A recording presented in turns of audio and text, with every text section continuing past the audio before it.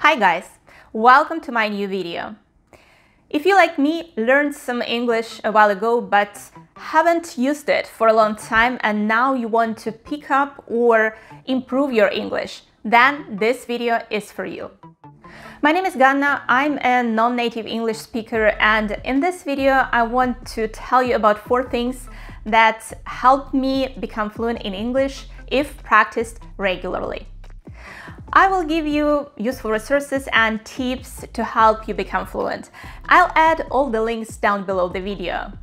Okay, let's get straight to the video. First of all, we will talk about listening. Listening is very important in English. It is important to understand what the person you are talking to is saying. Otherwise, it will be a very awkward conversation.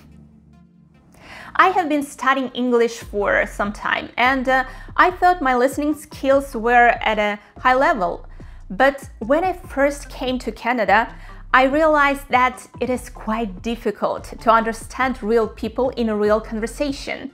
Because people speak fast, use shortcuts like coulda, shoulda, woulda instead of could have, should have, or would have, for example.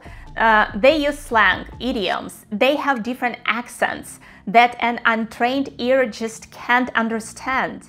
Canada is a beautiful multicultural country. People come here from all around the world. So, to communicate successfully, you need to develop your listening skills. If you want to speak fluently, you need to start practicing this skill every day. I really like the transcription technique and highly recommended for developing listening skills. It is useful for anyone who wants to improve their listening skills and can be used at all levels, from beginner to advanced. Um, I talk more about this technique in this video. And basically, it is very simple. All you need is a pen, a piece of paper, and uh, an audio or video piece to listen to. That's it. First, you listen to the entire piece without subtitles uh, to catch the main idea of the video. Then you rewind and play the short segments one at a time and write down what you hear. You can do this several times and then compare your version of the transcript with the original transcript of the fragment. It can be, for example, a very short video clip, about 5 minutes. The only thing is you have to listen to the fragment and actively try to understand it. There are so many free great resources. Uh, YouTube is one of them. There you can find videos for any level and uh, start practicing right away. TED Talks are a great tool for practicing listening. Uh, you can find their long and short talks uh, on many interesting topics, and each talk comes with a transcript. It can be also a TV show of your choice. And by the way, you can find many transcripts of TV shows on the Simply Scripts website. Just do it every day and your listening skills will improve. Next, let's talk about grammar. Recently, I was chatting with a nice girl from Mexico and uh, we were discussing how best to learn a foreign language. Uh, she had recently moved to US and uh, she told me, Ganna, I spent two years practicing grammar, several hours a day, but now I realize that it's getting me nowhere. I can't talk to people fluently. I am so frustrated. Of course, memorizing grammar rules alone will not turn you into a fluent speaker. But don't ignore learning grammar. Yes, learning grammar alone won't make you fluent, but when combined with other skills, uh, it will give you a solid foundation. Uh, you need to know grammar structures to be able to build sentences correctly in speech, uh, be able to use tenses, um, ask questions. Otherwise, people simply won't understand you. But the question is where to start. And first of all, you need to test yourself to identify your weak spots and uh, filling the gaps. Again, there are many resources for this, and below I'm providing a link uh, to a great website where you can test yourself and uh, identify where you need to improve. Uh, this site is just great. I recently came to the conclusion that doing lots of grammar exercises is one of the things that has helped me uh, make progress in my English.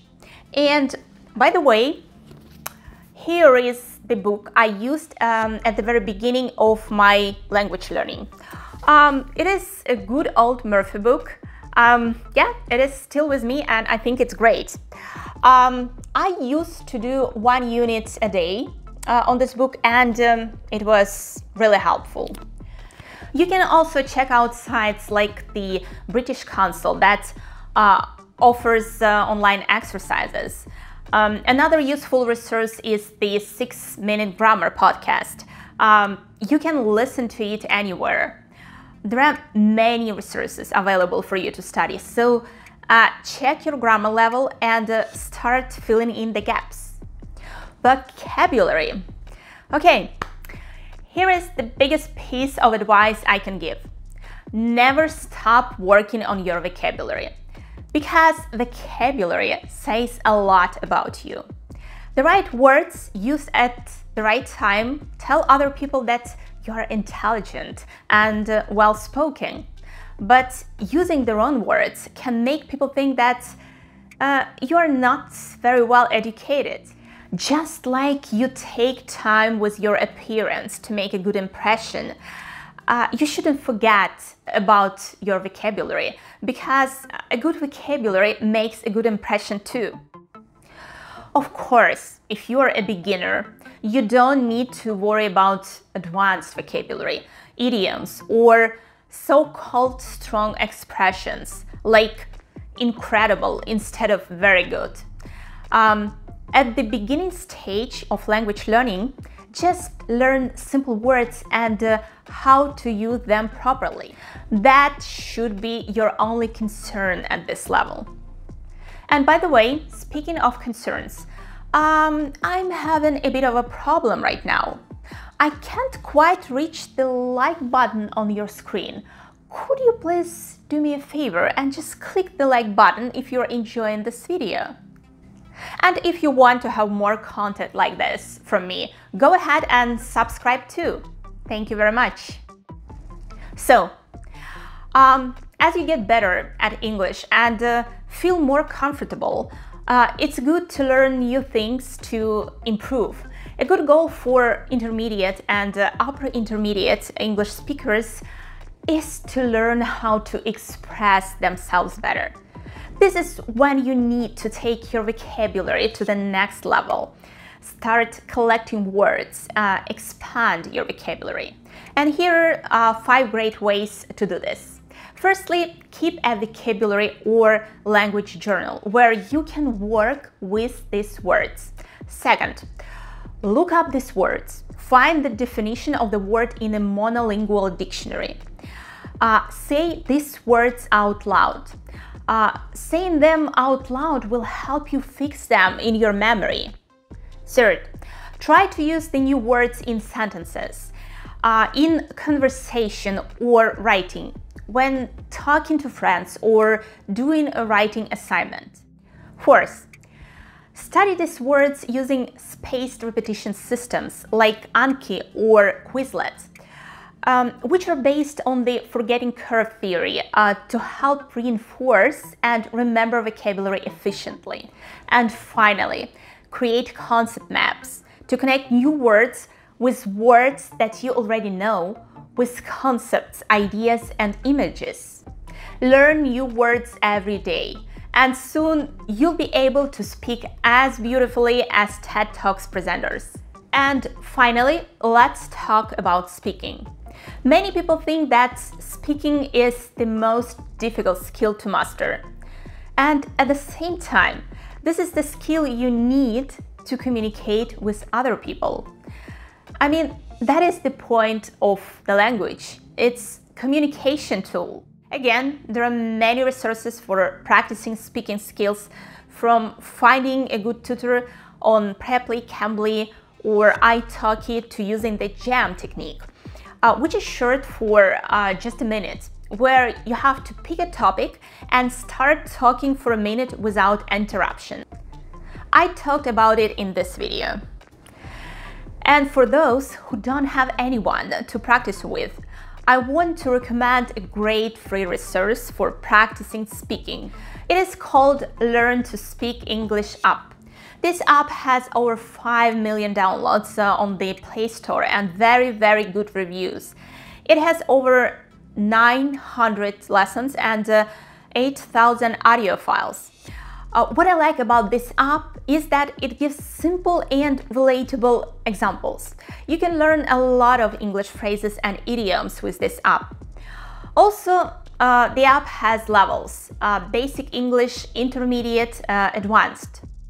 I mean, I live in an English-speaking country and I know how people speak in everyday life as native speakers. Believe me, this app exactly replicates the language they speak. Hey, let's take a look at it.